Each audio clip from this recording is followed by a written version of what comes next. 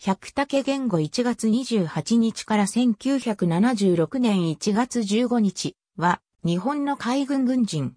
最終階級は海軍大将。第7代九州帝国大学総長。佐賀県出身。兄、三郎と言語は海軍兵学校を主席卒業し、共に海軍大将となった日本海軍史上唯一の兄弟である。佐賀藩の足軽、百武庭倉の逸夫として生まれた。百武三郎は三男、陸軍中将の弟、春吉は、無夫である。少年時代の言語は農学を志していたが、海軍兵学校を目指していた兄浩二が、志半ばで病死したことを機に、浩二の意思を継いで海軍を目指すことにした。佐賀中学、海軍予備校を経て、明治35年12月、海軍兵学校30期を主席で卒業。同期生から唯一人、大将まで昇進した。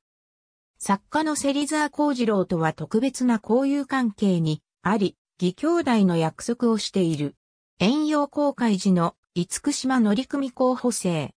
前列左端が千人候補生の百武遠洋航海を終えた際、関地は今村信次郎と入れ替わり自責となったが、明治36年9月より連合艦隊機関、三笠乗組に任じられ、主砲着弾観測員を務めた。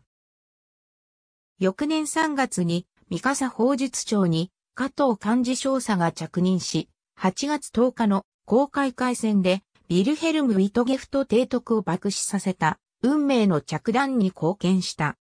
加藤の采配に感動した百武だったが、後に私的ないさから加藤不信に転じて互いの命運を左右することになる。公開開戦後の10月に唐崎丸乗組となる。これは戦時のため遠洋公開が行われなかった32機の少尉候補生の実務訓練が目的で、中少尉から成績優秀な士官が選抜され、指導官となったためである。12月に富士航海士となり、日本海海戦に参戦した。戦後は、千代田、香取、富士の分隊長、岩木の航海長を務めて、着実に技量を上げていった。明治40年に、法術学校特集科、明治41年には、海軍大学校津主、同専修学生、明治44年には、同校主学生と大尉時代は勤務の傍ら学校教育を頻繁に受けている。大正2年に初めて赤レンガ勤務となり、軍令部参謀、教育本部、第2部員を兼任した。大正4年から2年間、アメリカに駐在する。ここで、アメリカの国情を詳細にわたって研究し、日露戦争後にアメリカを仮想敵と定めた海軍の方針が無謀なものであることを悟り、対米協調路線を推進する決意を固めた。しかし、帰国して海軍大学校教官に任じられ、2年間にわたって学生に対米協調の重要性を説き続けたが、決起盛んな学生は、百武教官は、共米論者と反発を強め、受け入れられなかった。大佐に昇進した百武は、大正10年に、多摩官庁に任じられ、初めて官庁職に就いた。イギリスのエドワード王太子の訪日に際し、お召し官、レナウンに同伴の任にあたり、また下関に停泊中に、運搬船が、たまに激突沈没した事故の責任を問われて、軍法会議にかけられている。この事故は、何度で知られた関門海峡を通過するため、あらかじめ航路の帆船清掃を依頼したにもかかわらず、停泊しているたまに潮流に流された船が衝突したものであった。判決は罰金300円。多摩官庁時代は百武にとって激動の時期であり、感激のあまり人気中に生まれた七女に多摩と命名した。だが一方、直属の上司である第三戦隊司令官に実の兄である三郎少将が着任して窮屈な思いもしている。以後、兄弟が同じ指揮系統に並ばないよう人事上の配慮が強化されることになる。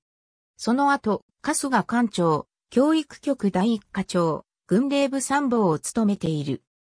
大正14年に国連軍縮会議会軍代表に任じられ、交渉を通じてさらに対外協調路線の重要性を認識し、海軍大学校教頭に就任後は、以前の教官時代以上に協調路線を厚く、学生に説くようになった。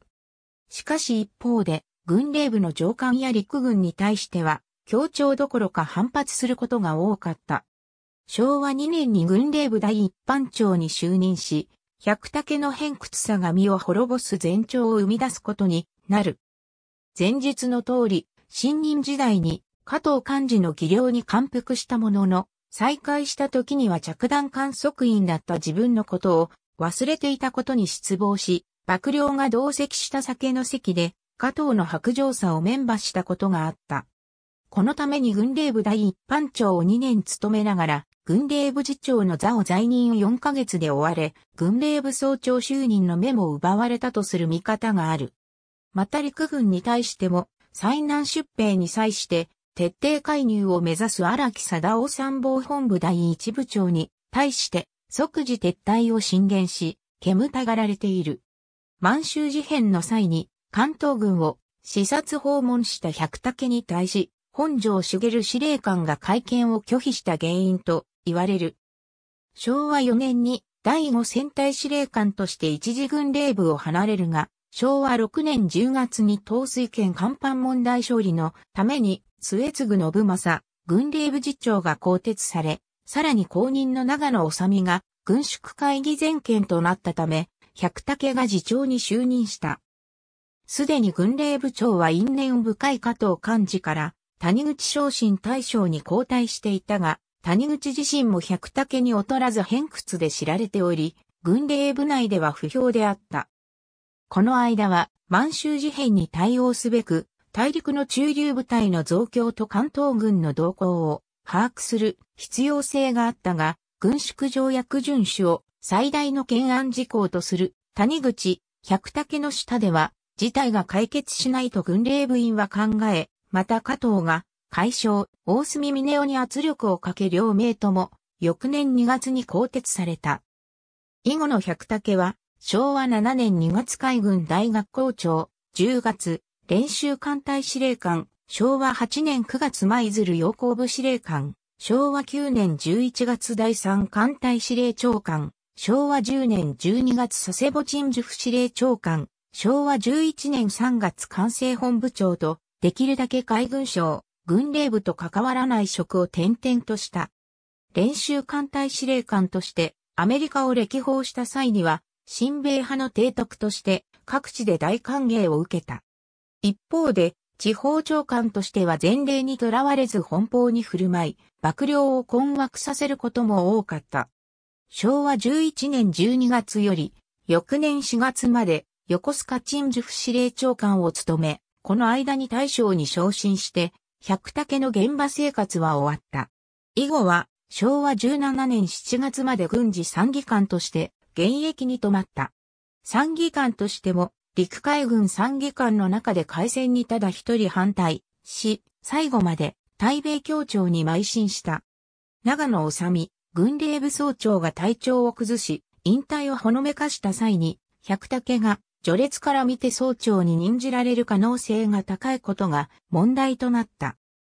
後年百武自身が軍令部総長や海軍大臣に就任することがあれば、海戦に反対であり、思い切ったことをやるつもりであったと述べているように、明白な非戦派である百武が総長となることを阻止する水面下の工作の結果、長野続投が強行され、さらには戦時下にもかかわらず百武を予備役に編入し、海軍から追放することになった。大将の定年まで5年を残しての予備役、編入であった。戦後、新見正和元中将は、先の見える百武さんのような人が冷遇されたのは、気の毒であったと述べている。海軍を追われた百武は、九州帝国大学から総長候補に指名される。これは、工学部が新総長を学外の第一人者から招聘する意向を固め、海軍経験者の中から百武を選んだものであった。学習院長経験者である野村義三郎大将から説得され、百武は総長選挙に立候補し、昭和20年3月から11月まで総長を務めた。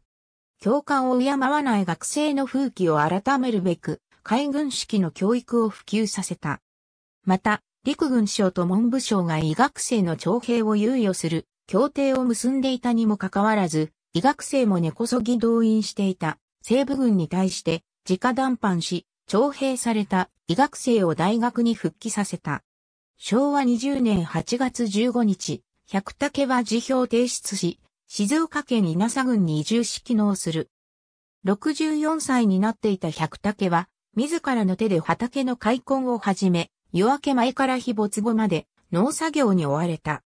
訪れた人が涙を流すほどのあばら屋生活で、最初の2年は何も収穫できないような状態であったが、自給自足できるまでに成功させた。豊かな生活ではなかったが、恩給の申請に際しては有利であった。旧大総長としてではなく、海軍大将としての恩給を選んでいる。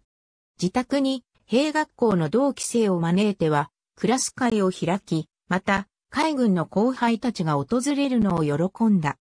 しかし荒木貞夫の招きには一個もしなかった。百武には、数を救助があり、女性には5.15事件の特別弁護人を務めた浅水哲夫などがいた。しかし男子は要請し、お手伝いであった女性を養女とし、全財産を譲渡した。昭和51年に94歳で死去。兵学校30期生187名の最後を飾る大王城であった。ありがとうございます。